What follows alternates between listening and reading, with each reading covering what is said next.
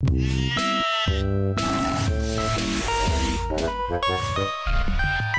Orzeł biały to jeden z najbardziej rozpoznawalnych symboli. Prawdopodobnie dlatego, że y, godło. Z jego genezą wiąże się pewna nudna historia o trzech braciach, którą pewnie wszyscy znacie, więc nie wiem po co w ogóle to opowiadam. Byli sobie bracia i każdy z nich miał niewolników. Nie wiemy jakim sposobem zostali oni nabyci, ale nasi bohaterowie nazywali ich y, ludem. Lud był głupi i nie odgrywa tu w tej historii praktycznie żadnej roli, poza tym, że idzie za trójką naszych braci. Chłopaki nazywali się Lech, Czech i Rus. Lech był najstarszy, najwyższy, najsilniejszy, najbardziej przypakowany, najmądrzejszy, najinteligentniejszy, najpiękniejszy, najprzystojniejszy, to już chyba mówiłem, i miał największego. Rus nikogo nie lubił, a Czech uwielbiał w knedle. Ci dwa jednak nie odgrywają w tej historii zbyt e, ważnej roli, są takimi trochę przydupasami. No najważniejszy jest Lech. Chodzi o to, że oni sobie idą. Idą sobie poszukiwać jakiegoś miejsca, żeby się osiedlić. I tak idą i idą i idą i idą i idą i idą i idą i przez trzy czwarte historii idą i idą i idą i idą i idą i idą i idą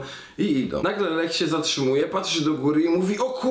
Jaki fantastyczny orzeł. Chłopaki widzieliście jaki fantastyczny orzeł? A oni mówią, no no, orzeł jak orzeł. No to Lech się bardzo zdenerwował, że chłopaki nie mają zamiaru zachwycać się nad orłem, który on uważał, że jest piękny i zaczął ich okładać pięściami. Potem zaczął okładać pięściami wszystkich ich niewolników i tak się rozpędził, że zaczął też okładać pięściami ziemię i tak powstała kotlina kłodzka. Po wyżyciu się powiedział swym braciom dokładnie to samo, co niegdyś powiedział Bogusław Linda trzymając karabin, no i jak powiedział, tak zrobili. Jeden spieprzył na wschód, drugi na południe.